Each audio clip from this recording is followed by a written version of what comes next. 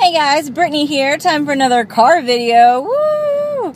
Um, so today I have the newest addition to the Starbucks Frappuccino family, and that is this the caramel waffle cone Frappuccino. Yes.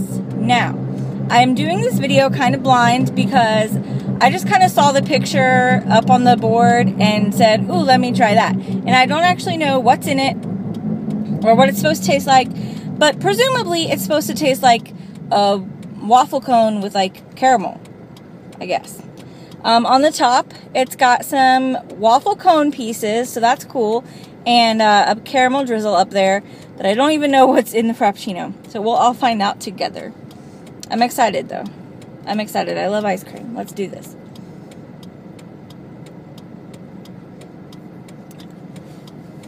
Okay, so right off the bat, I can tell you that this is definitely caramel.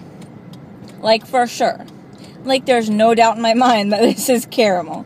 Um, so as we should all know by now, I'm not the hugest like fan of caramel.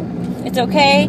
But like my sister loves it. She's just a caramel fiend, even though she calls it caramel or something. I don't know. But um, yes, my car sounds like a spaceship. Whatever. I'm cool like that.